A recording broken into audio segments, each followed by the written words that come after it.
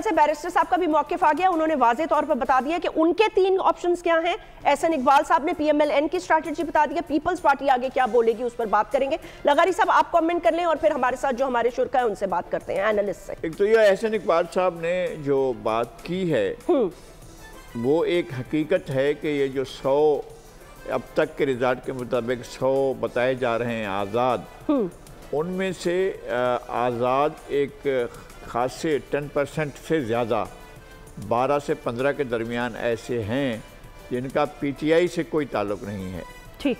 और वो पीटीआई के भी ख़िलाफ़ और अपनी मदर पार्टी जो उनकी थी पीएमएलएन उसके भी ख़िलाफ़ हम्म।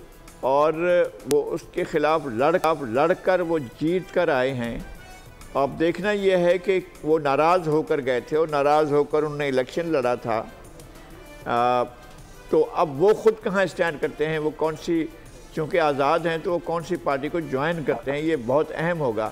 ठीक। अगर वो पी एम एल एन से नाराज़ होकर इलेक्शन लड़े हैं यानी दानियाल चौधरी अगर वो जिनको टिकट नहीं दिया गया वो आई उसकी वो, वो अपनी पार्टी में वापस जाते हैं या नहीं जाते हैं या किस कोई और रास्ता अख्तियार करते हैं ये उन पर मुनहसर है। ठीक। दूसरी सूरत यह है कि जो जनाब बरिस्टर अली जफ़र साहब कह रहे थे आ, उन्होंने आ, सीटें हासिल की हैं उनकी शिकायत जो हैं इसी तरह की शिकायत हमें भी आई हैं कि बहुत कई ऐसे अरकान हैं उन अरकान ने खुद या उनके लोगों ने हमसे रबता किया और बताया कि किस तरह से रिज़ल्ट रोका गया। रिज़ल्ट जो है जिस तरह से तब्दील हुआ है और जिस तरह से रिज़ल्ट तब्दील करके और इलेक्शन को मैनुपलेट किया गया उसके बारे में लोगों ने शिकायत की हैं और उनके पास शायद सबूत भी हैं कि वो रिज़ल्ट जो है वो तब्दील किया गया। एक ये सूरत हाल है। और ज़ाहिर पीपल्स पार्टी इस गेम में तीसरे नंबर पर है। और अगर वो इस शर्त पर जाते हैं कि जनाब हम भी किस्मत आजमाई करते हैं हम्म। तो मेरा ये ख्याल है कि जो सबक वज़ी अजम की पार्टी है वो बज़ाहिर यह है कि वो इंटैक्ट है।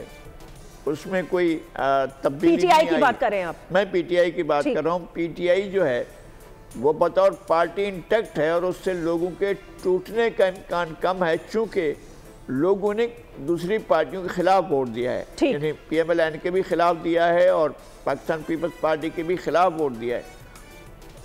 तो क्या वो अपने लोगों की राय के बरक्स मंतखब होने के बाद ज़ाती तौर पर इस फैसला करने के आ, आ, के पोजीशन में होंगे कि वो जाकर दूसरी किसी पार्टी को ज्वाइन कर लें और नहीं तभी तो उन्होंने ये कहा है ना कि उन्होंने एक ये इंडिकेशन दी है कि एक थर्ड ऑप्शन है जिसमें वो ये कह रहे हैं कि किसी से खामोशी को किसी से सपोर्ट कर लिया जाए और हम ऑपोजिशन में बैठ जाएँ।